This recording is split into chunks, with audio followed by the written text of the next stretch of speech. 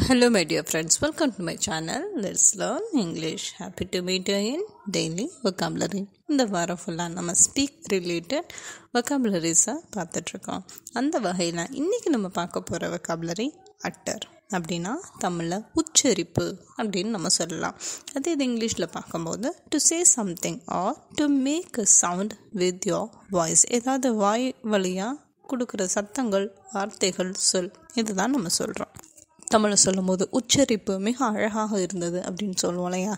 எனக்கு ரொம்ப பிடிச்சது இலங்கை தமிழர்களோட பேச்சு.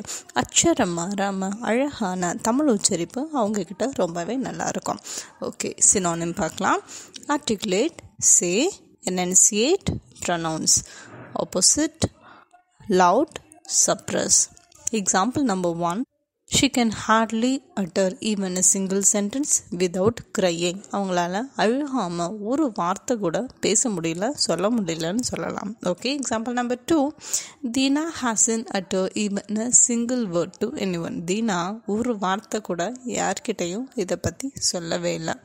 Okay example number three my relatives didn't utter even a single word of encouragement என்னோட உறவினர்கள் ரிலேட்டிவ்ஸ் எல்லாருமே ஒரு சின்ன வார்த்தை கூட ஒரு என்கரேஜ்மெண்ட்டோட இருக்கிறதுக்கு உத்வேகப்படுத்துறதுக்கு ஒரு வார்த்தை கூட சொன்னதே இல்லை அப்படின்னு சொல்லலாம்.